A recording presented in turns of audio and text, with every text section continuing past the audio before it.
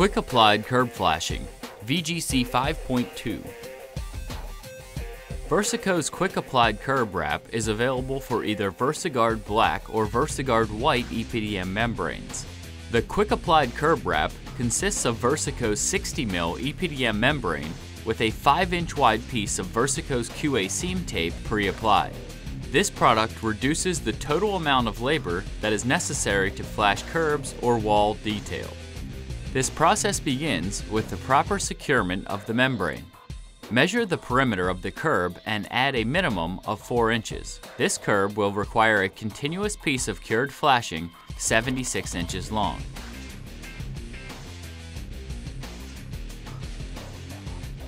To determine the location of the vertical splice, mark the end membrane at 4 inches to achieve a minimum 3 inch splice.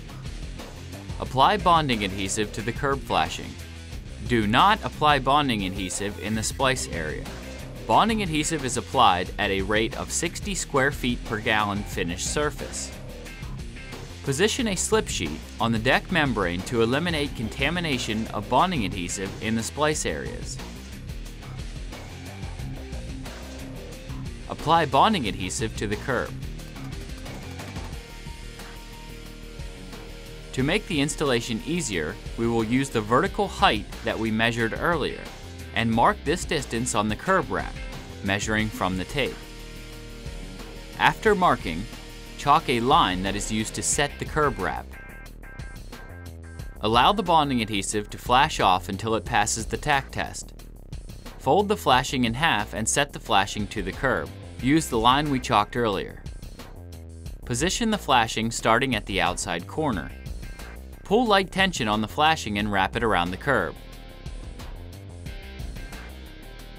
Cut and remove the excess material at the vertical splice and cut the vertical splice diagonally.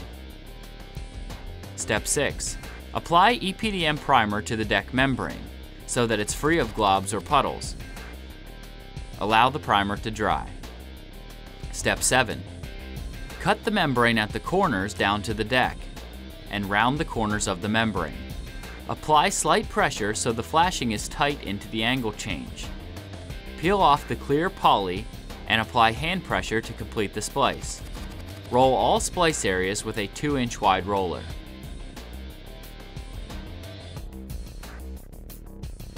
For the vertical splice, prime both sides of the curb wrap where the seam tape will lie. After priming, cut QA seam tape to the height of the curb. After ensuring that the primer is ready, apply the QA seam tape to the flashing against the curb.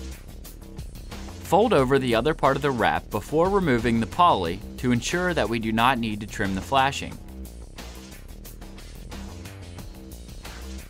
If necessary, trim the flashing so that 1 8 to 1 2 inch of the tape is exposed. Remove the poly and fold over the top portion of the wrap.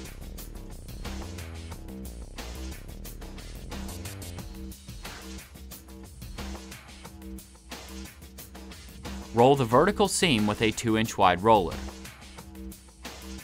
Complete the corners following the VGC 15.5, VGC 15.6, or VGC 15.7.